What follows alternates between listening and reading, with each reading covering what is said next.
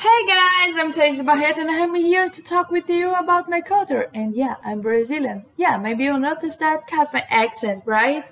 So, people tend to think that Brazilians speak Spanish, but no, we don't. We speak Portuguese. And yeah, I was almost saying English. Sorry. So yeah, we speak Portuguese. It's actually uh, understandable why people tend to think that because in South America, the, the major part of the countries they speak Spanish, like Venezuela, Argentina, Colombia, Peru, Uruguay, Uruguay, Paraguay.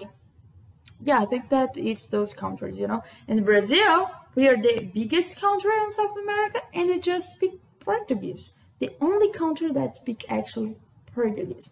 But fun fact about Brazilians, yeah, they pretend to speak Spanish sometimes.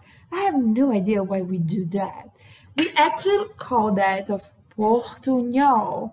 Do you know what means portunhol? It's when you tend to speak Portuguese with a Spanish accent. That just doesn't make sense. Or worse, a Brazilian will speak Spanish like they think that Spanish would sound, but that's just not Spanish, you know? It's because the languages are very similar, you know, but they also are really different. I mean, for example, when you say estoy embarazada in Spanish, you want to say that you are pregnant, sweetie.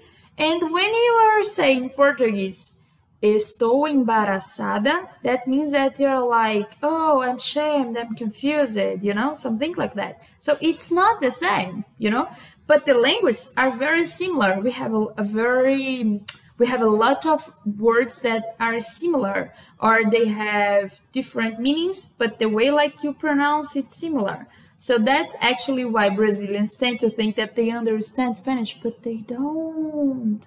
Actually, I had a Colombian neighbor a few years ago, and every time that he needed to keep talk with me, I was just always like, "What? I'm not understanding you, dude."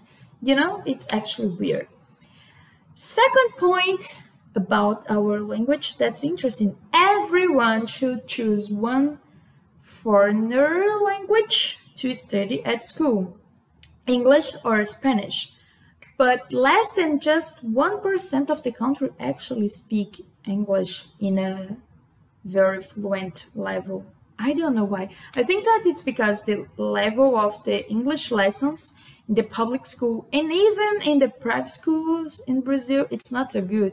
When you see a Brazilian actually speaking English in a good level, it's because that kid uh, studied alone for his own self, like listen music, watching uh, TV shows, because we have a, a, lot of American influence in Brazil with the TV shows and with the music, you know. Or because that kid went to an English private school, and those English private schools usually are good, you know, like CCAA, Cultura Inglesa, Maybe another one that I remember it's Yázigi that became very famous.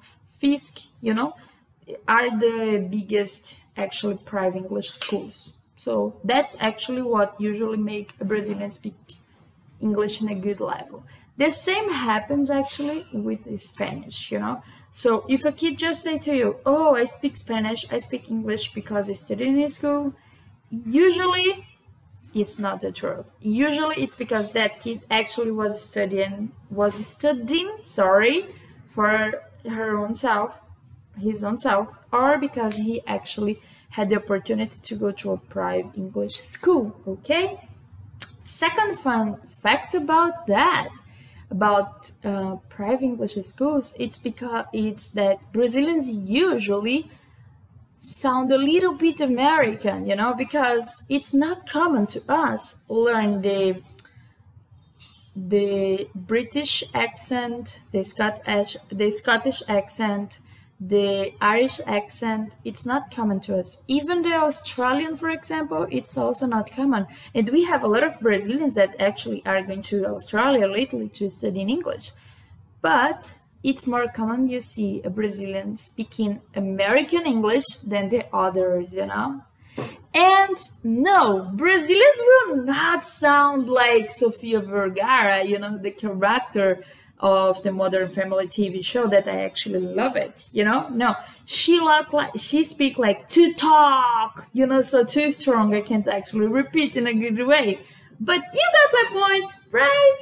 So yeah, that was actually an interesting point about my language, about my country. So please, if you like it, give me a like, share this video in social medias to help to help other people to understand more about the Brazilian culture. And I see you in another video. Okay, so see you soon. Bye.